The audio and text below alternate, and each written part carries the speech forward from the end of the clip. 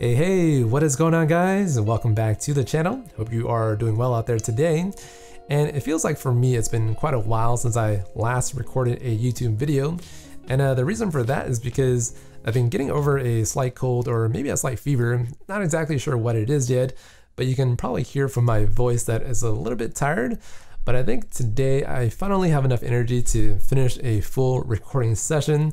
And I hopefully you guys enjoyed today's video. But anyhow, in today's lesson, we are going to try to discuss uh, one of these newer functions that was introduced inside of the Swift 4 programming language, and it's called the grouping function. And the way I'm going to illustrate today's example is to kind of go over the application that we are kind of working on for the last couple of videos here. And so let's take a look at the iPhone 10 simulator on the top right corner. And basically what we have is a UI table view and we are presenting a couple of different sections of messages inside of this list here, right? So if you missed the first lesson, you can check it out using a link in the description below. But this is what we have so far. And currently we have a lot of different sections and what is actually powering this UI table view, right? Well, if you look at the view controller Swift file, this is our current source code. And uh, down here, we have this chat messages array, and inside of it contains all of our chat messages here, here, and here. And I guess one thing that's a little bit special about this chat messages array is that it's actually a two-dimensional array, and that's kind of how we are able to present things inside of this nicely grouped structure inside of our table view. Now, uh, one thing that you will typically run into if you're uh, retrieving data from something like a server is that the server isn't always going to return your data inside of this nicely formatted structure of groups of messages, right? Instead, what it'll actually try to return to you, uh, most likely it'll just give you a flat array. So I'm going to kind of show you what I mean by declaring a new array. And I'll call this guy messages from server. Hopefully that makes sense. And this array is going to be a flat array of all of these messages over here. So what I mean is you'll just get something that looks like this from the server instead. So nothing too structured out.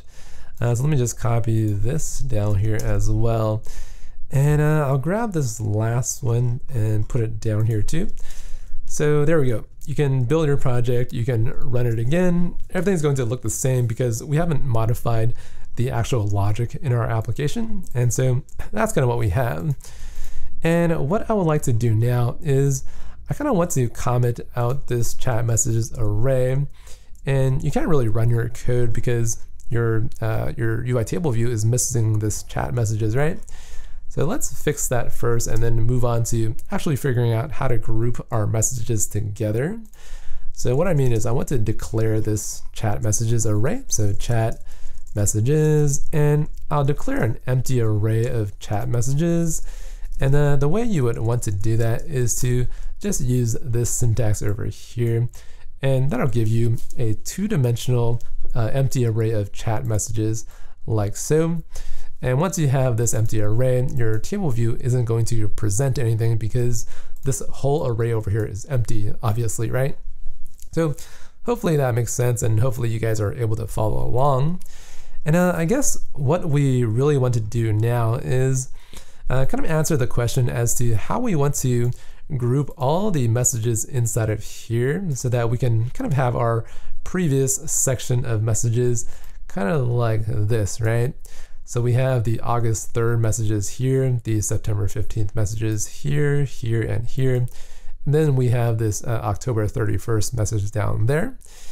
And you kind of have to figure out how you want to group these messages together.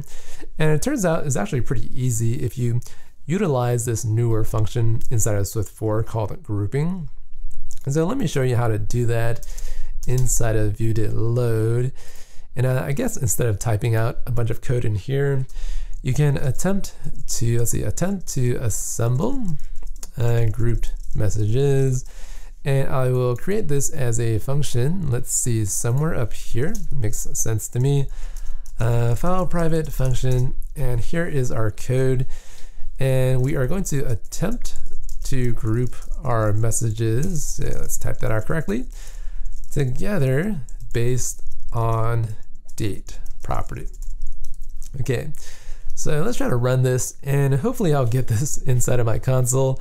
Uh, I always like to run my code just to confirm that everything is working properly. And what I mean by the date property is that all these chat messages right here, it contains this date property.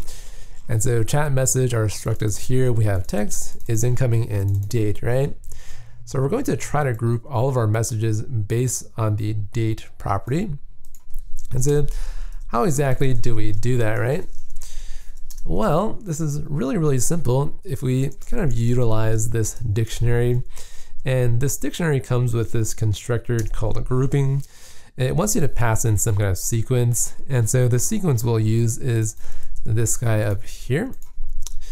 And let's see, the right side, we have the actual grouping function that we need to implement.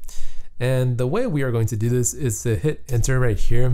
And I'm going to have to type out some of the code here. It's a little bit confusing if you've never seen it before, but this is actually the grouping function.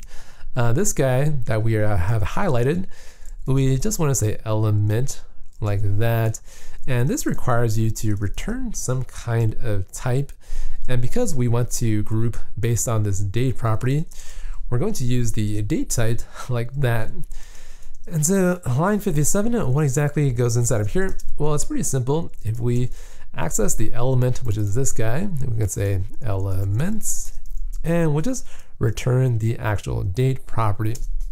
Okay, and that's all we need. Let's pop all of this guy inside of a property or a variable called grouped messages, and you can try to print out what exactly is inside of group messages right now uh, you'll see that is actually a dictionary where the key is type date and then the value is actually array of chat messages.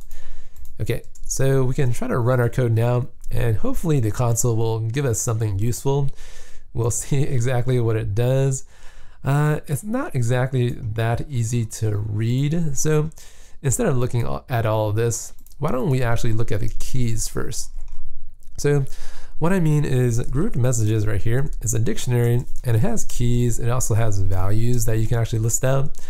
You can simply print out the keys by using a for each loop right there. This is the key, print out the key. Let me comment out that. And you have to kind of think about what exactly the key values are when you perform this grouping function, right? Well, you can kind of see we have four print statements down here. And uh, a couple of the print statements is 915, 1031, and 803. And so you'll have 1031 here, you have your September 15th, and then you have 803, August 3rd. We have another data right here, which actually comes from one of these messages over here. So today I'm recording the video on 9-11-ish, and the current date, which is specified by that, is currently 9-11. That's kind of why we have these four keys down here. And so that's all you need to actually get your messages to be grouped together. And uh, the only thing that you want to actually access is maybe the values as well. So let's say let values and we'll say group messages and we'll use the key, close that off and print out values. I think that's all I need. I might need to coerce this into an empty string like that because this thing might not always give you something that is a non-optional value. And what you'll get is that for each one of these keys right here, so this is the key, you'll get all of your messages instead of an array. So for the date of August 3rd, which is that, you'll get the first message over here, and then you'll get this second message right over there. And that's kind of what you see inside of this app over here. So this is the first message, and this is the second message. And you know, by just using this grouping function over here, you can provide the actual grouping structure that you need for your table view. And I guess the one thing that you're actually missing now is to somehow provide your table view with the messages, kind of like what we had before, right? So these are the messages. Okay, so to get your messages back inside of your table view, all you have to do is to reset up your chat messages array down here with the actual grouped messages up above. And so what I mean is you can say chat messages And you can simply say chat messages dot values, which will hopefully give you something useful back. But uh, you can't exactly do this. And what I'll do instead is I'll append all of these values inside of the chat messages inside of this for each loop. And so what I mean is I just want to say chat messages and I'll append some kind of element. And the thing that's kind of unique about this grouping is that this values over here turns out to be an array of the messages that you need. And then one thing that you have to fix is this, and the default value, if there's nothing in there, is just a blank array like so. And uh, what you can do now is you can run your code again, and the grouping function will actually group all of your messages together. So everything that appears on September 15th is inside of this section there, August 3rd, and then we have let's see the third section and also the last section below. And one thing that you'll kind of see right off the bat here that is incorrect is that all of the dates are, they're not really ordered in any way.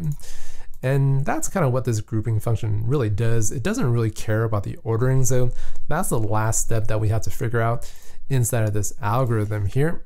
And so to provide the correct ordering for your messages, all you got to do is to kind of sort your keys in some kind of uh, ascending or descending order. And so the keys is over here, and you can actually provide a sorting for your keys somehow. And this is pretty simple. If you just say let sorted keys equals grouped messages, access the keys, and you can simply say sort it like that, and it'll kind of sort it all for you.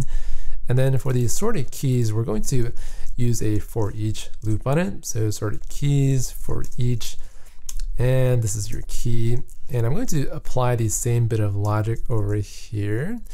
So let me just say let values equals grouped messages, and we'll use the key from the sorted keys. Let me get rid of that bracket. And let me just paste that in here. I will have to comment out this bit of code. And so this is a little bit of code, but once you have this logic implemented, you'll see that the sorting that you actually provide for your messages actually correctly groups them together. And you'll see that August 3rd is up here, September 10th, and then so on and so forth. So that just means that the time is sorted for you. Alrighty everyone, that's gonna wrap it up for today's video. And some of you guys can already spot that there's a small flaw inside of our program currently.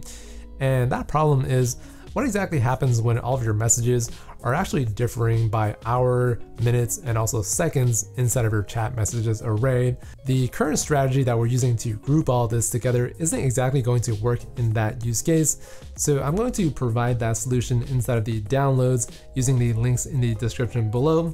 If you enjoyed today's video, make sure to give it a thumbs up. If you want to learn more about Swift development, you can check out the couple of courses down in the description below as well. Again, hopefully you learned something new in today's video. Hopefully you enjoyed it. That's gonna be it for me today. I will see you in the very next lesson. Bye bye guys.